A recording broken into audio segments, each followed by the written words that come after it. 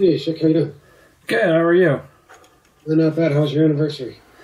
Uh, well, my wife uh, had to work, and uh, she had a, a lot of stuff to do, like admissions, and you know, like a lot of computer work. So we ended up not doing anything except you know having a bottle of uh, of uh, you know sparkling grape juice. We don't drink, so you know that's she had a funny uh, meme from the last year. It was like two a couple sitting on a sectional couch, you know, like uh, one like laid down on on each side. You know, this is how we spend our our Valentines. Pretty funny. You know, when you get older, it's like you know that's the way it is. But you know, we gave each other cards and stuff like that. But you know, it's a thought that counts.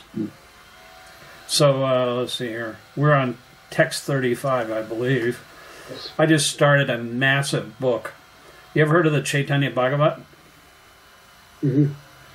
That's uh, um, the first uh, biogra- biography of uh, Lord Chaitanya. It was written by Vrindavan Das Thakur, who was a disciple of uh, Lord Nityananda. so that's pretty awesome.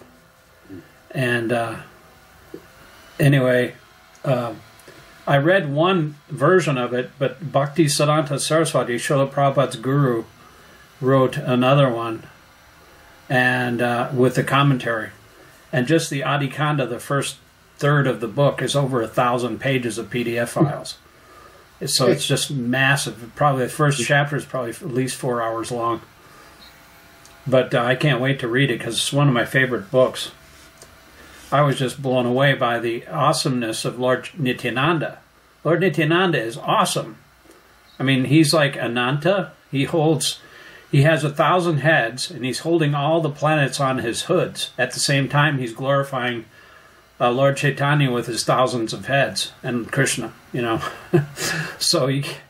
Uh, and he's all many so many other things, you know. It's like he's also uh, He's also Lakshman. He's also Balaram, and he's also Krishna's bed and his chamara fan and all different kinds of uh, paraphernalia, you know, that Krishna uses.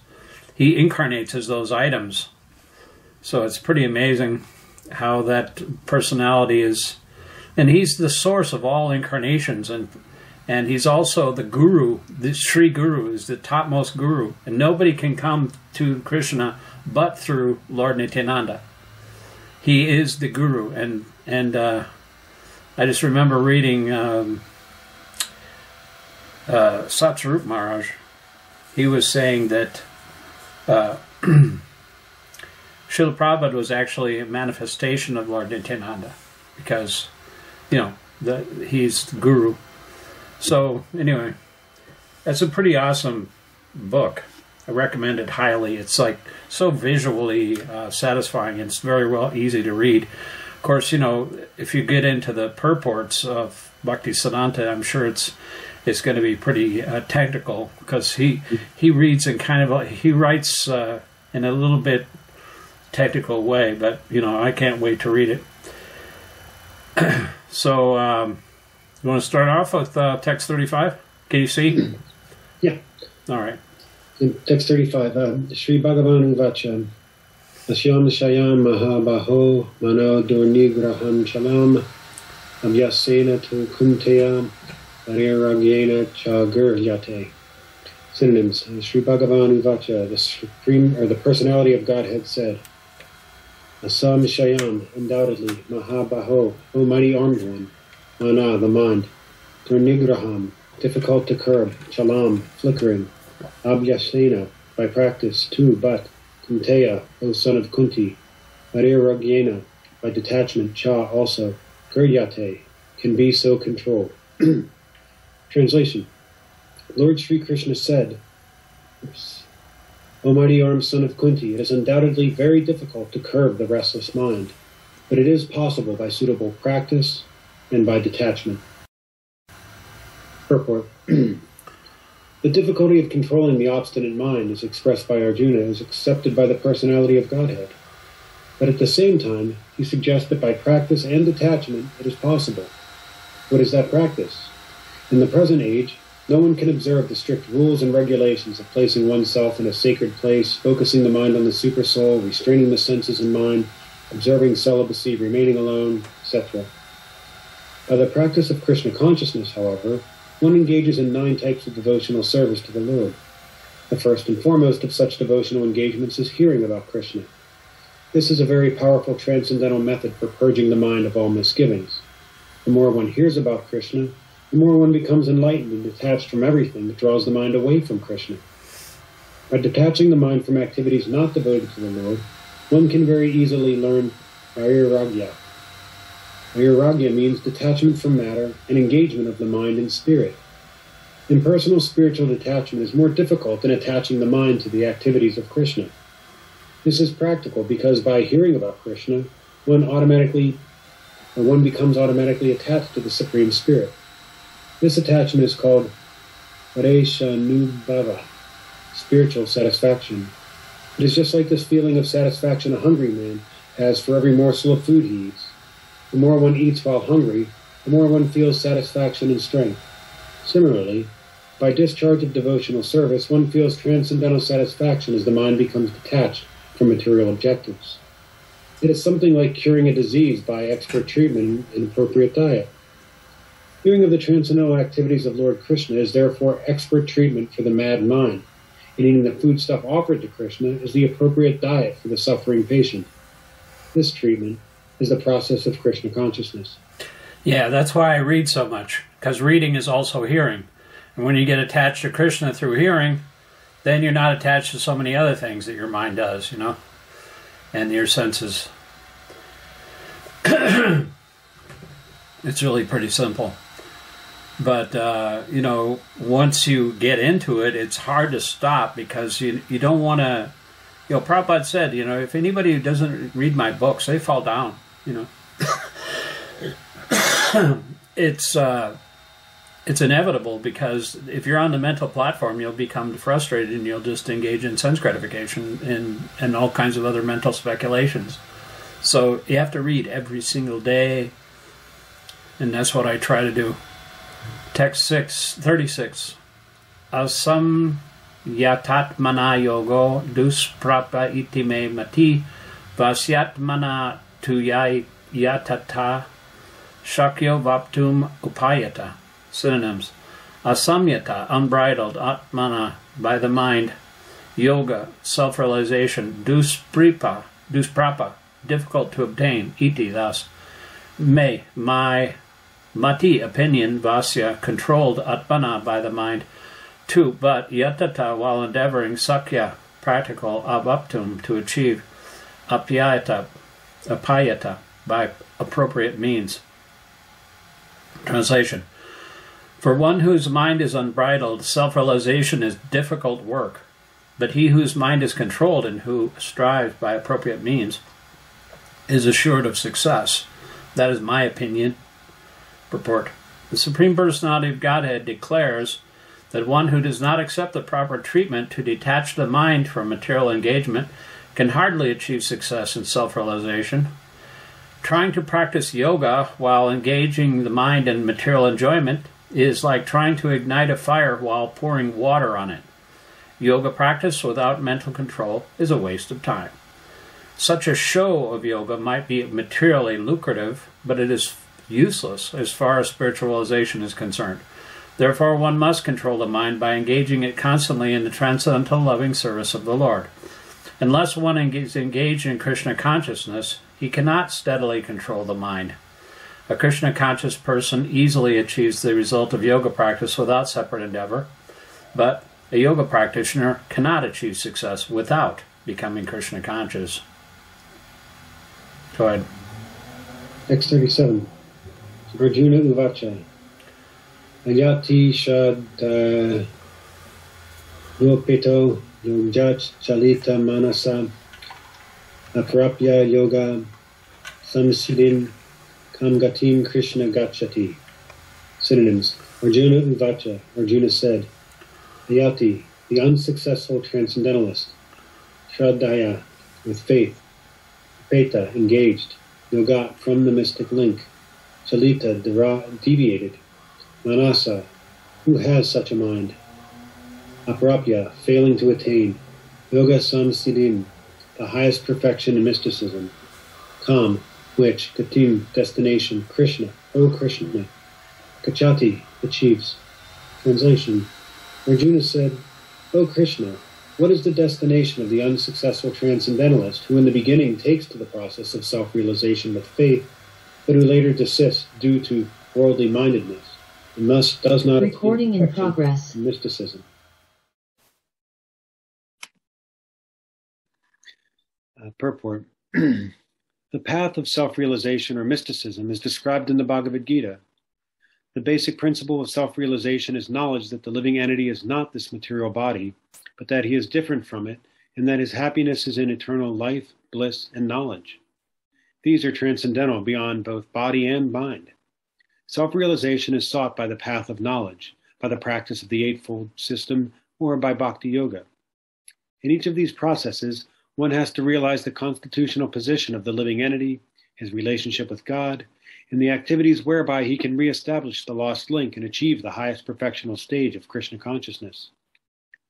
Following any of the above mentioned three methods, one is sure to reach the supreme goal sooner or later. This was asserted by the Lord in the second chapter. Even a little endeavor on the transcendental path offers a great hope for deliverance. Out of these three methods, the path of Bhakti Yoga is especially suitable for this age because it is the most direct method of God realization. To be doubly assured, Arjuna is asking Lord Krishna to, conform, to confirm his former statement. One may sincerely accept the path of self realization, but the process of cultivation of knowledge and the practice of the Eightfold Yoga system are generally very difficult for this age. Therefore, despite constant endeavor, one may fail for many reasons. First of all, one may not be sufficiently serious about following the process. To pursue the transcendental path is more or less to declare war on the illusory energy. Consequently, whenever a person tries to escape the clutches of the illusory energy, she tries to defeat the practitioner by various allurements. A conditioned soul is already allured by the modes of material energy, and there is every chance of being allured again, even while performing transcendental disciplines.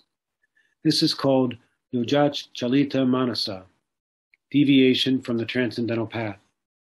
Arjuna is inquisitive to know the results of deviation from the path of self realization.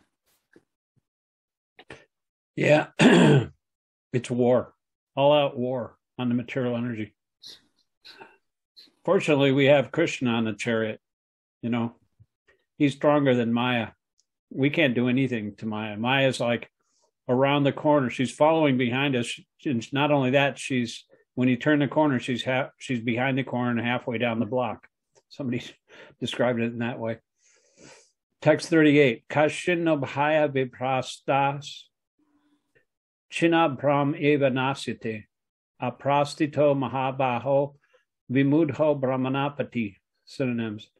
Kashit, whether or not, not abhaya, both, viprasta, deviated from, china, torn, abram, cloud, eva, like, nasati, perishes, aprastita without any position, Mahabaho, Almighty armed Krishna, Vimuda, bewildered, Brahmana of transcendence, Pati on the path. Translation Almighty armed Krishna, does not such a man who is bewildered from the path of transcendence fall away from both spiritual and material success and perish like a riven cloud with no position in any sphere? Purport There are two ways to progress. Those who are materialists have no interest in transcendence. Therefore, they are more interested in material advancement by economic development or in promotion to the heavenly planets by appropriate work. When one takes to the path of transcendence, one has to cease all material activities and sacrifice all forms of so called material happiness. If the, transcend- if the aspiring transcendentalist fails then he apparently loses both ways. In other words, he can enjoy neither material happiness nor spiritual success. He has no position, like a riven cloud. A cloud in the sky sometimes deviates from a small cloud and joins a big one, But if it cannot join a big one, then it is blown away by the wind and it becomes a non-entity in the vast sky. The Brahmanapati is the path of transcendental realization through knowing oneself to be spiritual in essence, part and parcel of the Supreme Lord, who is manifested as Brahman, Paramatma, and Bhagavan. Lord Sri Krishna is the fullest manifestation of the Supreme Absolute Truth, and therefore one who is surrendered to the Supreme Person is a successful transcendentalist. To reach this goal of life through Brahman or and Paramatma realization takes many, many births. Bahunam Janmanamante. Therefore, the supermost path of transcendental realization is Bhakti Yoga or Krishna consciousness, the direct method. Text 39. Itan me sam shayam Krishna chetum arhasi asheshata tvadanya sam sayas yasya uh, Chaitana he. Synonyms. Etat, this is. Uh, may, my. Samshayam, doubt. Krishna, O Krishna. Chetum, to dispel. Arhasi, you are requested. Ashesata, completely. Uh, tvat, then you. Anya, other. Samsha, yasya, of the doubt. Asya, this. Cheta, remover. Na, never he certainly. Upapadeyate is to be found. Translation. this is my doubt, O Krishna, and I ask you to dispel it completely. But for you, no one is to be found who can destroy this doubt. Purport. Krishna is the perfect knower of past, present, and future. In the beginning of the Bhagavad Gita, the Lord said that all living entities existed individually in the past. They exist now in the present, and they continue to retain individual identity in the future, even after liberation from the material entanglement. So he has already cleared up the question of the future of the individual living entity. Now, Arjuna wants to know the future of the unsuccessful transcendentalist. No one is equal to or above Krishna, and certainly the so called great sages and philosophers who are at the mercy of material nature cannot equal him. Therefore, the verdict of Krishna is the final and complete answer to all doubts because he knows past, present, and future perfectly, but no one knows him. Krishna and Krishna conscious devotees alone can know what is what.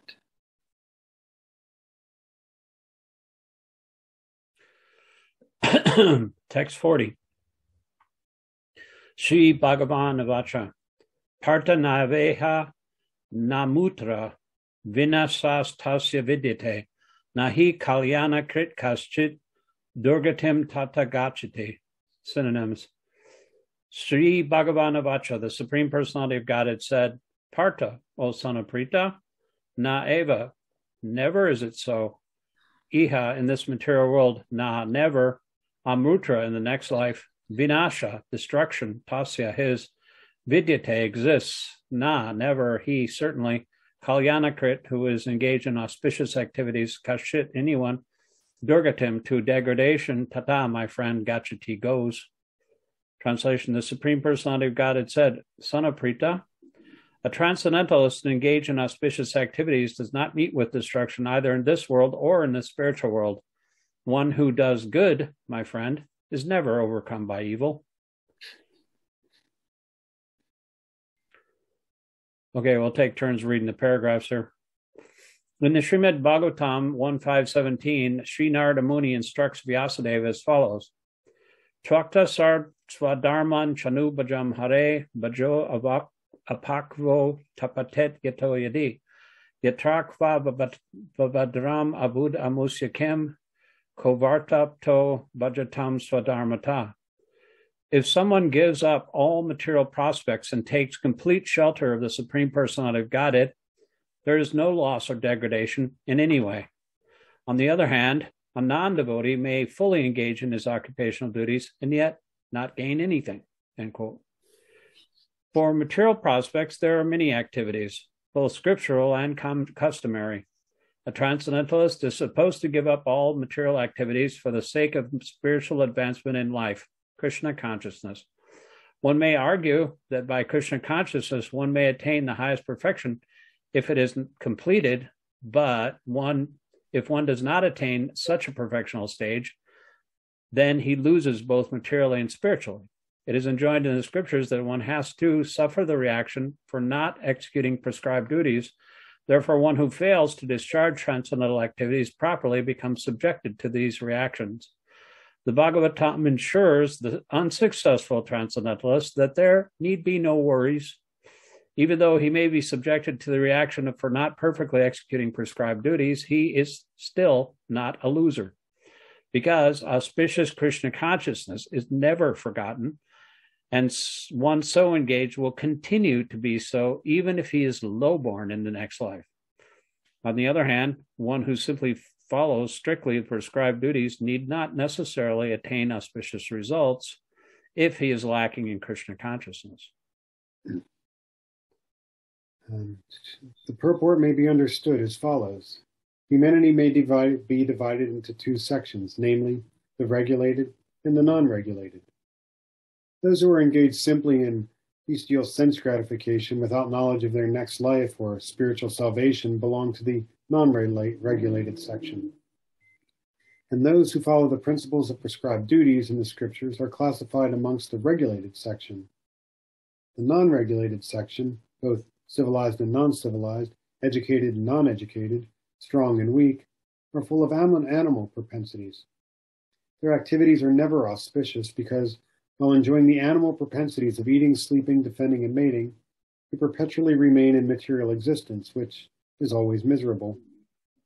On the other hand, those who are regulated by scriptural injunctions and who thus rise gradually to Krishna consciousness certainly progress in life. Those who are following the path of auspiciousness can be divided into three sections namely, number one, the followers of scripture, scriptural rules and regulations who are enjoying material prosperity. Number two, those who are trying to find ultimate liberation from material existence. And number three, those who are devotees in Krishna consciousness. Those who are following the rules and regulations of the scriptures for material happiness may be divided further into two classes those who are fruitive workers and those who desire no fruit for sense gratification. Those who are after fruitive results for sense gratification may be elevated to a higher standard of life, even to the higher planets, but still, because they're not free from material existence, they're not following the truly auspicious path. The only auspicious activities are those which lead one to liberation. Any activity which is not aimed at ultimate self realization or liberation from the material bodily concept of life is not at all auspicious. Activity in Krishna consciousness is the only auspicious activity, and anyone who voluntarily accepts all bodily discomforts for the sake of making progress on the path of Krishna consciousness can be called a perfect transcendentalist under severe austerity. And because the Eightfold Yoga system is directed toward the ultimate realization of Krishna consciousness, such practice is also auspicious, and no one who is trying his best in this matter need fear degradation.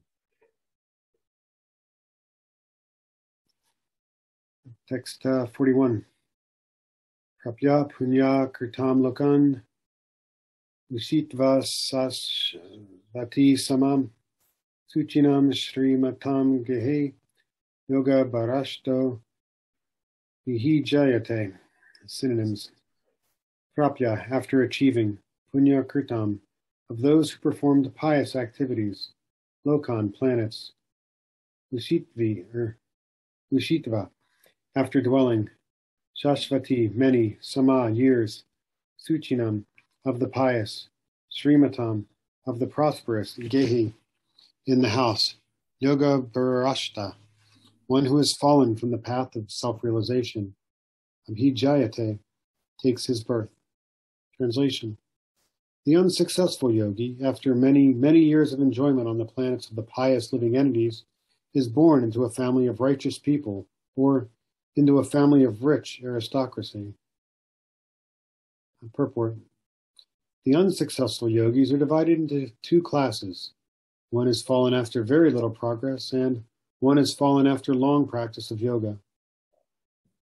The yogi who falls after a short period of practice goes to the higher planets where pious living entities are allowed to enter. After prolonged life there, one is sent back again to this planet to take birth in the family of a righteous Brahmana or Vaishnava or of aristocratic merchants. The real purpose of yoga practice is to achieve the highest perfection of Krishna consciousness, as explained in the last verse of this chapter. Those who not persevere to such an extent and who fail because of material allurements are allowed by the grace of the Lord to make full utilization of their material propensities. And after that, they are given opportunities to live prosperous lives in righteous or aristocratic families. Those who are born in such families may take advantage of the facilities and try to elevate themselves fully to Krishna consciousness. So, with the, uh, you know, uh, unsuccessful, you know, or incomplete yogic practice and, um, you know, going to another lifetime in, in one of the higher planets, um, so I'm not sure, like, what the, like, how to take that because I mean, if, if you know, my understanding, you know, we don't remember our past lives, so it's almost like you know, material starting over. You go somewhere, have this level of enjoyment, you know, you're kind of burning off the, the good karma, but then you like return to a different life, but without any memory of, of that. Uh, I'm not sure what would be the purpose of having that birth in the in, in a more heavenly planet, you know, because it would be not remembered, and it doesn't seem to be really conducive to continuing on the path of Krishna consciousness. Well, the answer to that question is that it is actually, uh, even though one doesn't remember your gross material memories from your past life, the propensity for Krishna consciousness is still there. And uh, therefore, uh, when you take up your, your next birth, you automatically start out where you left off, you know, whether you know it or not. Mm-hmm. Just like it says that if you, if you're very, very fortunate, you're going to meet devotees. That means you have done something in your last life to, to, um, qualify you to meet devotees of the Lord. So therefore, you can take it for granted that if you have uh, the association of devotees in this life or the next life, then you have must have performed some kind of Krishna consciousness in your past life.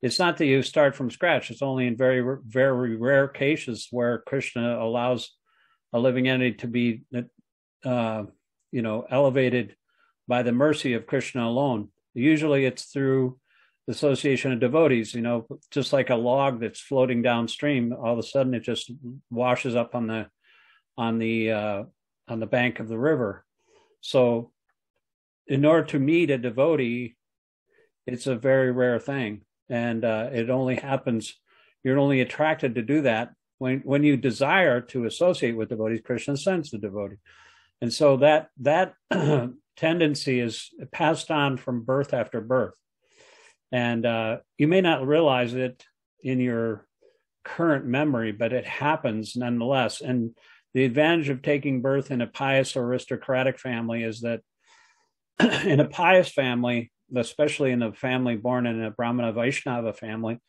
you have a perfect situation.